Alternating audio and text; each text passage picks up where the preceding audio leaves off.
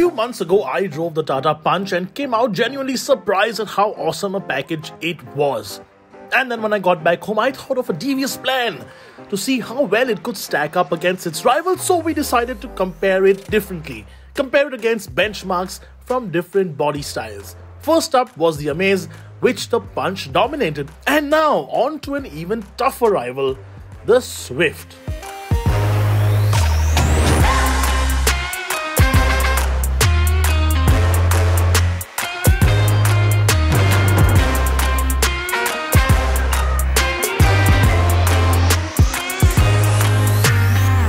Now, if you're wondering why we're comparing an orange with an apple, that's probably because if you go to your local fruit vendor, these two probably cost about the same. And some people like the apple, some people like the orange. I like both.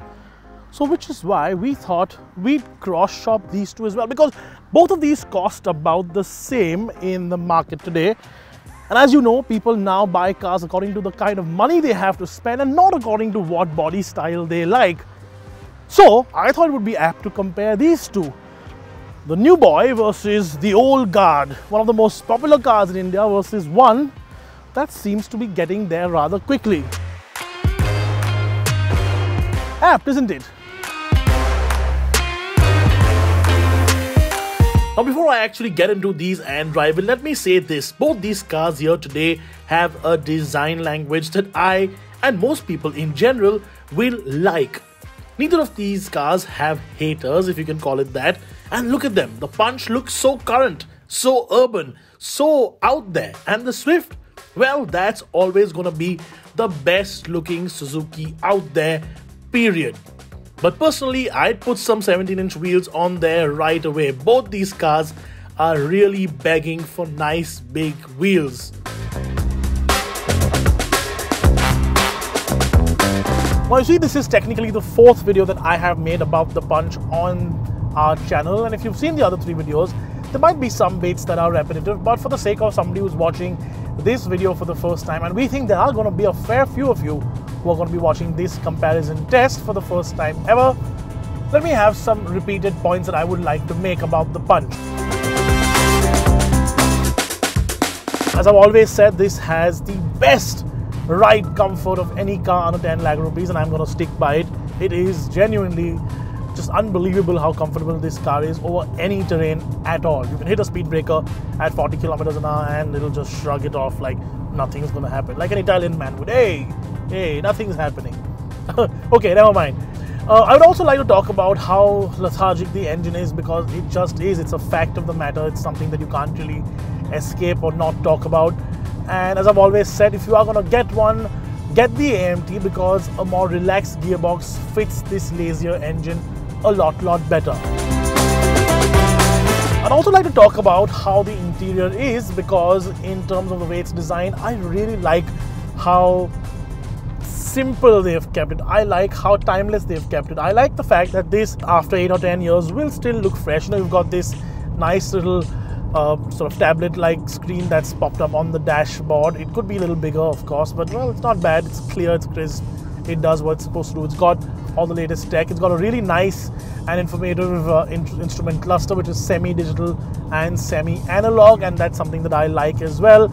And there are some points that I don't like too in the interior. Like for example, some of the plastics feel a little bit cheap. But overall, this is a very nice place to be, and it doesn't feel like a 10 lakh rupee car it feels like a little more expensive. It feels like something that you would normally find in a compact SUV, like say a 14, 13, 14, 15 lakh rupee SUV, so segment up. And that's a good thing. If you're looking for your first car, to be treated to something that feels slightly more premium, that feels slightly better, is always a great thing to have.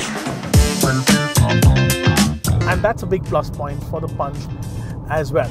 But talking about interiors, I think it's time now to go and hop into that Swift because uh, if this is timeless and classic, that is as funky and sporty as you can get on the 10 lakh rupees bar exception.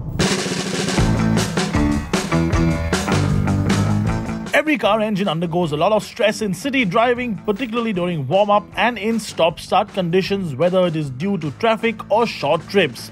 Ordinary car oils may not be enough to protect your car engine and that is why we recommend fully synthetic Castrol Magnatec stop start for non-stop protection.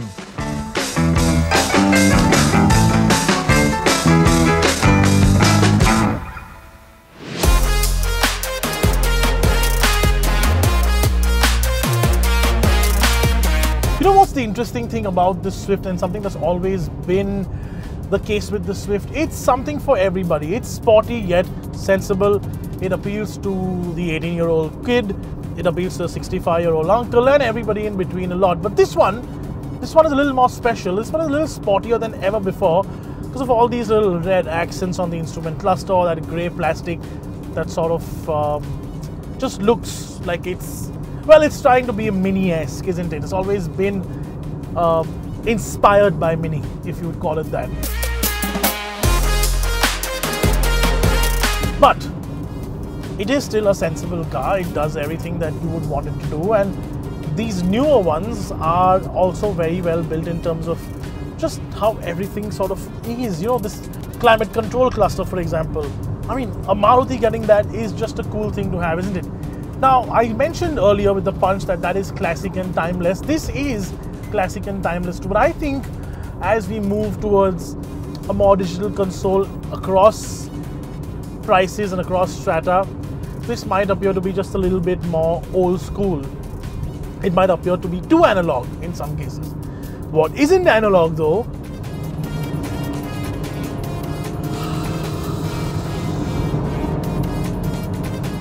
What isn't analog though is that K12 engine.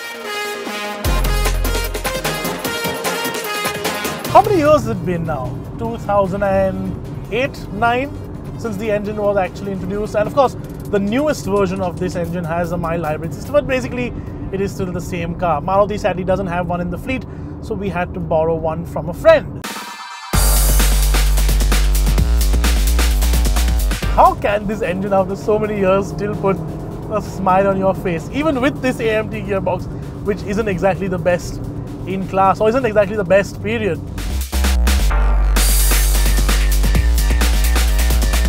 Maruti just gets that so right every single time, doesn't it?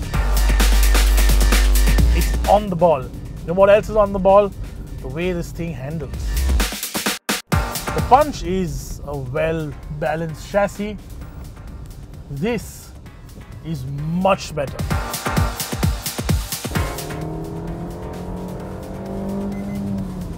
Six thousand RPM in every gear.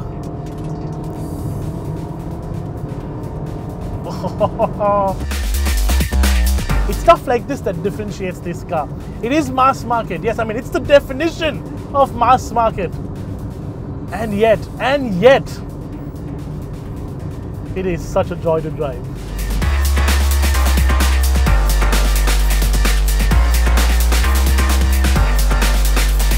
The other big, big, big, big difference between the two, of course, is their NCAP safety rating. And for a lot of people, that is a deal maker for the Punch and a deal breaker for the Swift. That's just the reality of it. The Punch gets 5 stars and the Swift gets only 2 in the global NCAP ratings. And yes, the Swift does meet all its Indian regulations, but apples to apples or well, apples to oranges in this case, you will be safer in the Tata. Let's give you a verdict because that's what we do here on PowerDrift. And before I give you that verdict, let me make a confession. No, let me make two confessions. Confession number one I still really like the Swift. It's a car that has my heart, and if I was to buy another car for say about 10 lakh rupees to replace my now 10 year old personal Swift, I'll just probably buy one of these and give it to my driver so I don't have to worry about maintenance or scratches or everything's easy to run, easy to sort of fix, etc. But you cannot discount the kind of effort Tata has put into the punch. And this review, this video is about your first car and you want more from your first car. Yes, the Swift is way better to drive in terms of engine performance, but for everything else, I think the Punch maybe does it slightly better. Of course, design is something that's a personal perspective. I think this looks nicer than the Swift does, maybe not in this color but in another color the light bluish green that we drove right in the beginning but overall it's got more space and that's what you want from your first car it's got I think a nicer looking interior in terms of design, that's again something you want from your first car and you do want to actually sort of not blend in when you buy your first car. Some people do want to blend in. Second confession. This has been one of the most difficult comparison tests I have done in my life. But it is time for a verdict. And apples to oranges, tonight I'm taking the orange home. I think the Punch is a better first car.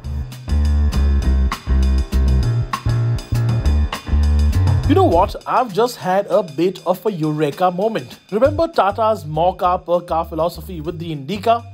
I'd say this, the Punch, does it even better.